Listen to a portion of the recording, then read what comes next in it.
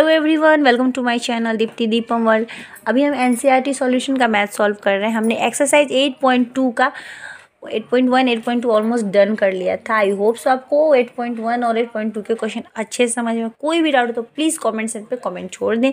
तो चलिए हम अब 8.3 चैप्टर की ओर बढ़ते हैं, जहाँ पे सिर्फ़ एक ही क्वेश्चन है, वो आपके 175 नंबर पेज पर दिया हुआ है डेसिमल चैप्टर का।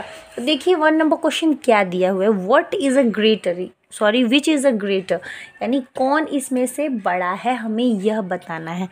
तो जैसे यहाँ पे देखिए ज़ीरो पॉइंट थ्री और ज़ीरो पॉइंट फोर दिया हुआ है। ये number question zero point three और ज़ीरो पॉइंट फोर यही है ना? तो अब हमें क्या करना है?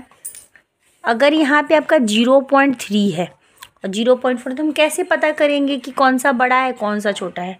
तो एक चीज़ सिंपल भी है, यहाँ पे अगर टेंथ प्लेस पे थ्री है और इधर टेंथ प्लेस पे फोर है तो हम समझ सकते हैं कि अगर फोर है थ्री से तो ज़्यादा बड़ा है तो हम ये लिख सकते हैं कि हमारा आंसर जो है वो ज़ीरो पॉइंट फोर हो जाएगा, यह ग्रेटर है। अब देखिए, ऐसा तो लिख देंगे तो हमें समझ में आ गया, बड़ा देख के हमने कर दिया लेकिन इसको अगर आप डिटेल में दिखाना चाहोगे एक्सप्लेन करके तो कैसे दिखाओगे?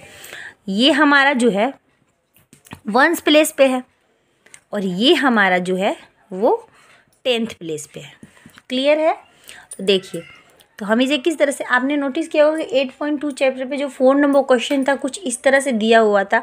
प्लस करके दिया था, उसे बोला गया था कि डेसिमल फॉर्म में चेंज करना है।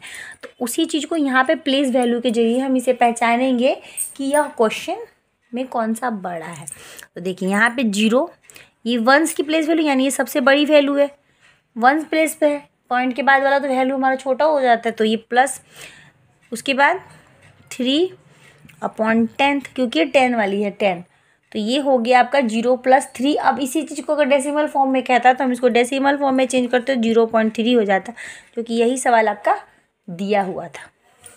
अब इधर आते हैं, ये भी सेम चीज़ है, ये वंस है और ये आपका टेंथ है। यानी वंस प्लेस पे ज़ीरो है, टेंथ प्लेस पे फोर है, यानी zero plus four by ten.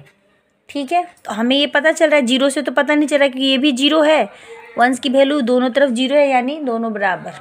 पर इधर अगर हम जाएँगे थ्री बाई टेन और फोर बाई टेन यानी थ्री से फोर बड़ा है तो हमारा जो है फोर अब हम यहाँ से लिख सकते हैं कि three by ten greater than four by ten three by ten से फोर बाई टेन जो है ग्रेटर है, बड़ा है।